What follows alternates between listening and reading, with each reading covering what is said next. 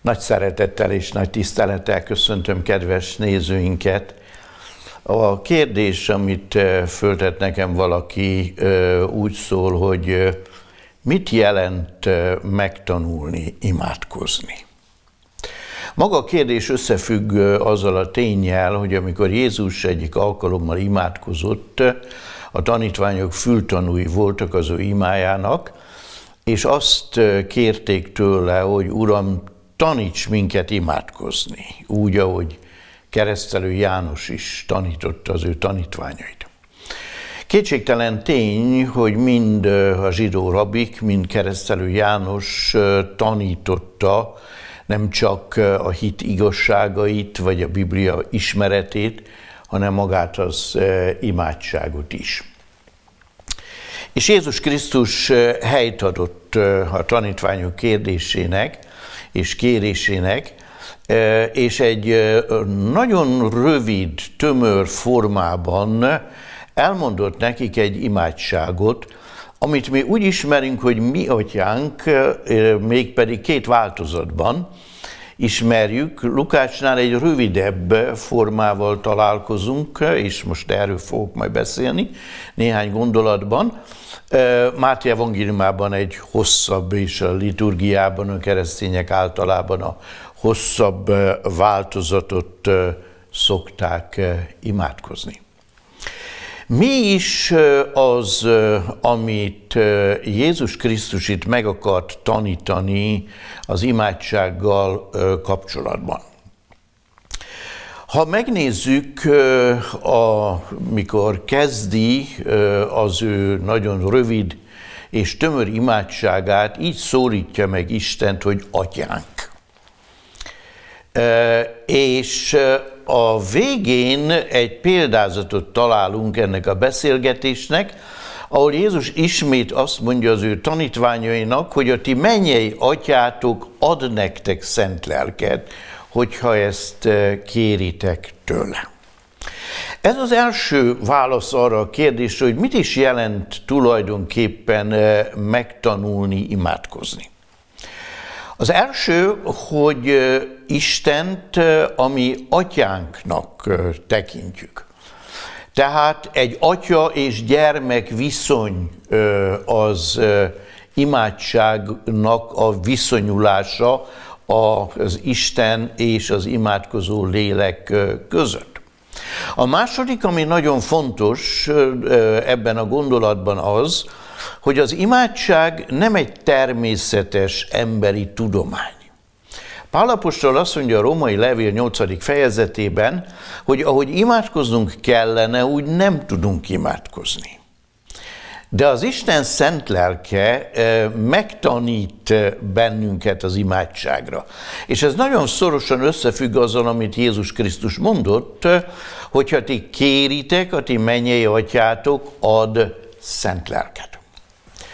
Az imával kapcsolatban néha azt szoktuk gondolni, hogy minél cirkalmasabb, minél dagályosabb az ima, annál kedvesebb Istennek, pedig ez éppen fordítva van, hiszen akkor tudunk természetesen, őszintén, nyíltan párbeszédet folytatni Istennel, hogyha az Istennel folytatott beszélgetésünk tényleg olyan őszinte és közvetlen, mint ahogy a családban egymás között beszélgetünk.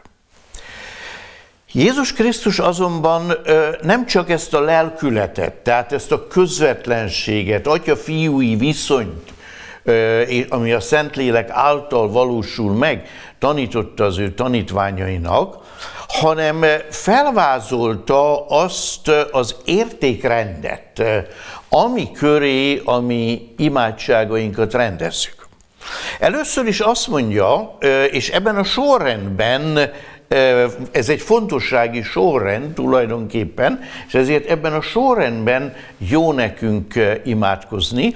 Amikor Jézus először azt mondja, hogy mi atyánk, legyen meg a te akaratod, mint a mennyben, úgy a földön is, és jöjjön el a te országod. Ezek a gondolatok mind arról tesznek tanúbizonyságot, hogy mi elismerjük azt, hogy az imádságunk gyümölcseként az Isten akarata érvényesül a mi életünkben. Miért fontos ez? Mert sokan összetévesztik az imádságot a mágiával. Úgy gondolják, hogy az imádság valami mágikus eszköz, amivel rá lehet vinni Istenre az én akaratomat. El lehet érni, hogy Isten az én kéréseim szerint cselekedjen, de valójában fordítva van hogy valaki nagyon szépen megfogalmazta, az imádság nem Istent hozza le hozzánk, hanem bennünket emel fel ő hozzá. A másik nagyon fontos dolog, amit megtanított Jézus Krisztus ebben az imában, hogy a mi életünknek az ügyeit tegyük a mi atyánk gondviselő kezébe.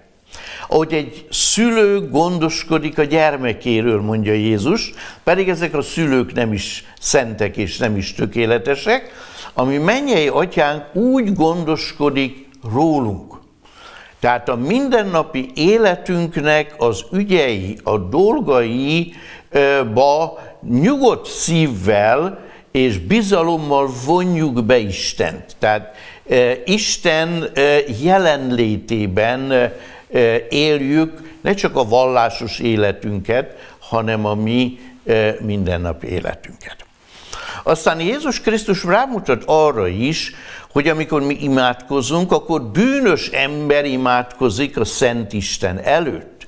Éppen ezért meg kell tanulnunk azt, hogy szükségünk van nem csak a mindennapi gondviselésre, hanem szükségünk van arra, hogy Isten megbocsássa mi bűneinket. Sőt, a Szentlélek által megtisztítson bennünket a mi bűneinktől. Tehát az imádság nem csak egy evilági tevékenység, hanem nyitott a végtelenre az Isten országa felé. És még egy nagyon fontos gondolat, amit ebben a beszélgetésben kitűnik, nevezetesen az, hogyha én elfogadom, hogy Isten bűnbocsánatra vagyok, bűnbocsánatára vagyok utalva, akkor természetesnek veszem azt, hogy azok az embertársak, akik körülvesznek engem, ők is hozzám hasonló esendő emberek, és én elvárom, hogy Isten engem elfogadjon, mint esendő embert, én is kifejezem azt a szándékomat, hogy kész vagyok embertársaimat, annak ellenére szeretni, hogy ők hozzám hasonlóan esendő lények. És végül, de nem utolsó sorban, Jézus Krisztus később egy példázatot mondott el, egy, a példázat egy hamis bíróról és egy özvegy asszonyról szól, aminek az a végkicsengése, hogy mindenkor imádkoznunk kell, és soha nem szabad belefáradnunk. Tehát az ima nem egy alkalmi valami. Tehát nem arról van szó, hogy jaj, most bajba vagyok, most akkor imádkozom, most meg minden jól megy, és akkor elfelejtkezem az imáról, hanem az imádság valami olyasmi, eh, mint megint visszatérek egy családi kapcsolat, ahol a, házas felek, vagy a szülők és a gyermekek a mindennapi élet eh, egész forgatagában folyamatosan kommunikálnak egymással, és folyamatosan egyfajta bensőséges eh, kapcsolatban maradnak a család közösségében. Tehát ez jelenti megtanulni imádkozni. Hogy keresztény emberként így tudjuk élni a mi életünket, mint Isten családjának, a mi atyánk családjának a tagjai. És én azért imádkozom, hogy mi így tudjunk imádkozni Istenhez.